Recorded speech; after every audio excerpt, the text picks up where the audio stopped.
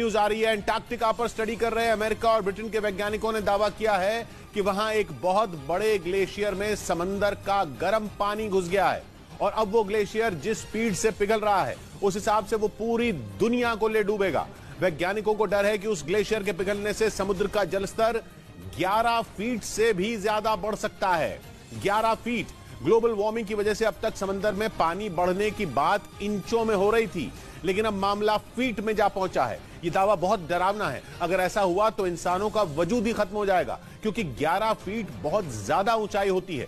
इंसान की हाइट ही इतनी नहीं होती, और मकानों की सीलिंग भी अमूमन 10 फीट ऊँची ही बनाई जाती है। ऐसे में अगर समंदर का पानी ही 11 फीट तक बढ़ गया तो उसके आसपास बसे इलाके तो जल समाधि ले लेंगे।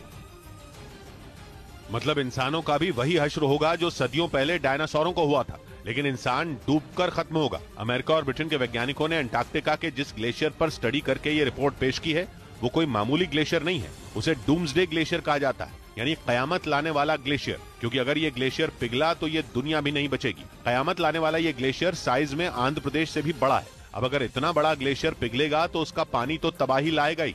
वैज्ञानिकों ने पाया कि समंदर का तेज़ी से गर्म हो रहा पानी इस ग्लेशियर के कई वीक स्पॉट में घुस चुका है। इस वजह से ये ग्लेशियर खत्म होने की कगार पर पहुँच चुका है। जिसका मतलब एक ही है कि दुनिया के ज़्यादा दिन नहीं बचे हैं, क्योंकि अनुमान यह है कि कयामत लाने